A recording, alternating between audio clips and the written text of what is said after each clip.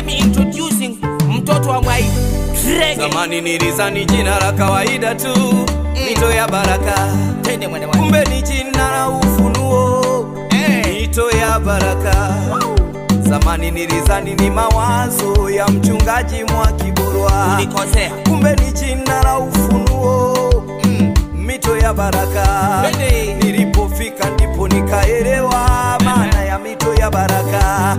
Maisha yangu yalipoanza badilika, nilielewa mito ya baraka. Safi. Watu wanainuliwa, Mito ya baraka. Waimbaji tumeombewa hapo, Mito ya baraka. Masanja anapatikana, Mimi huyo. Mito ya baraka.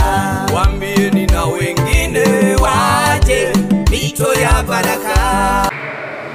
Huyo ndiye Mungu. Bwana asifiwe.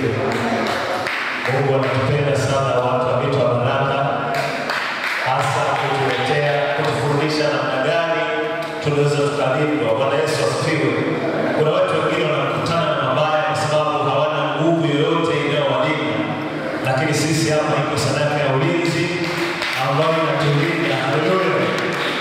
Wacha nimshuhudie Mungu matendo makuu aliyoyafanya. Ilikuwa siku ya Jumamosi ya tarehe tatu, saa nimetoka nyumbani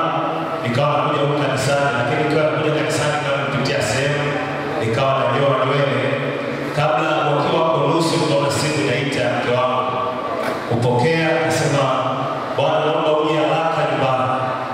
Nikaambia kuna nini? Unajua, ukiambiwa simu, ukipigiwa simu kwamba uje haraka nyumbani ujue kuna jambo aidha inaweza likawa baya. Bwana asifiwe. Nikaambia sawa,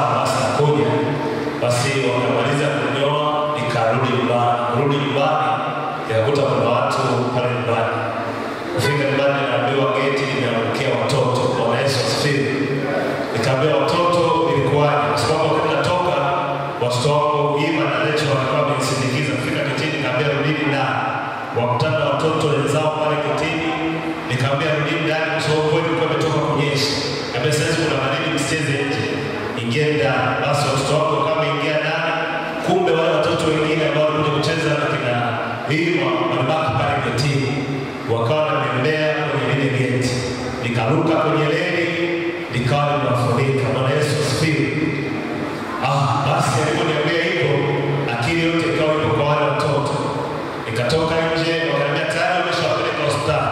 Nikaenda hospitali ya kwanza sikuwakuta, nikaenda hospitali ya pili sikuwakuta, nikaenda hospitali ya tatu na ya nne, nikaenda hospitali nne sikuwakuta. Basi nikarudi nyumbani, nikamfata jirani anayekuwepo paa, akasema bwana, mmoja anaendelea vizuri, hakwenda, ila wawili ndio walikuwa wamepata michubuko, wameenda hospitali. Basi tutakupa taarifa watakaokuwa wamerudi, kwa sababu mazao zao hatuna. Basi kwa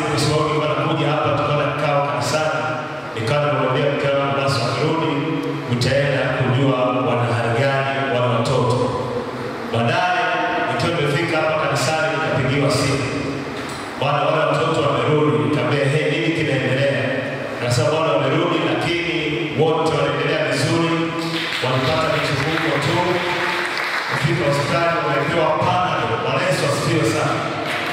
Nikaangalia ukubwa wa lile geti alafu na umri wa wale watoto, nikajua yuko Mungu amehusika. Bwana asifiwe sana. Nilipokuwa nimefika nyumbani Nairobi, nikamkumbusha Mungu kwamba Mungu, tunakutolea sadaka ya ulinzi. Ulinzi tunaokutolea ukawe juu ya wale watoto.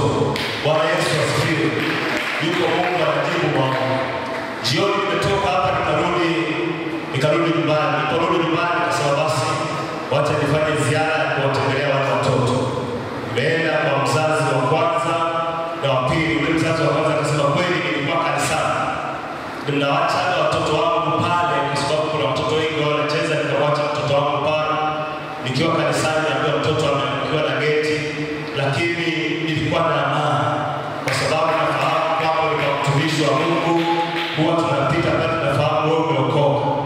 Kwa hiyo sikuwa na mashaka kabisa, nikamshukuru Mungu. Nikaenda kwa mzazi wa pili, yeye watoto wake walikuwa wawili, huyo mama ni Mpemba, wapendwa Mwislamu. Muislamu.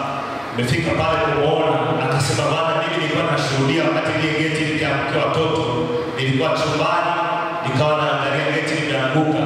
Kwa kweli nilipata mshtuko kama mama, yaani nilishindwa kujizuia. Nimekimbia, lakini nafika pale tayari watu wameinua lile geti, lakini ninachomshangaa Mungu, kwa kweli wewe ni mtumishi wa Mungu. Aliongea hivyo ni imani tofauti, anamtukuza Mungu tuliye naye. Mimi nikamshukuru sana Mungu kwa kweli Mungu alihusika kwa viwango vikubwa. Mahali hapa tunaye. Wakati